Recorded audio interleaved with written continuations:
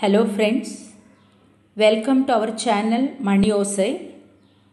Of late, with mobiles, laptops, and other gadgets in and around you and in our hand all the time, we have neglected a beautiful aspect which was a part of our civilization called reading books or printed materials.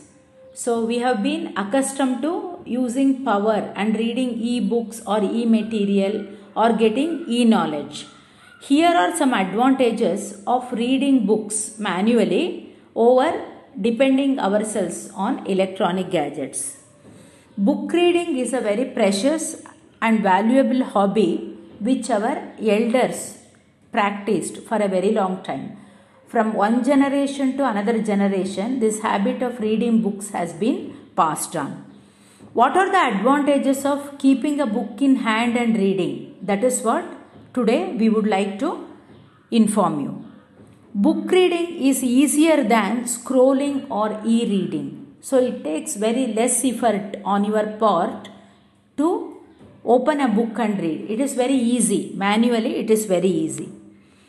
A book in hand can give you instant access. That is, just turning the page is sufficient for reference. It doesn't need any other exercise or activity on your part.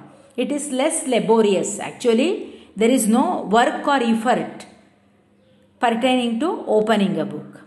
And it is less strain on your eyes. So nowadays we have been watching all youngsters and children wearing spectacles because of there is stress on their eyes redness in eyes watering and strain for reading so when you read a printed book it will ta- ma- make you less strained it is not strainful at all in comparison with a uh, reading in ipad or laptop it does not consume any source or power it is easy to handle and ready for use at any time or anywhere and everywhere.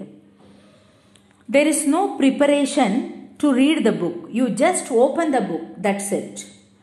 A printed book is a strong evidence for research scholars and the people who want to reread and ascertain it is very beneficial.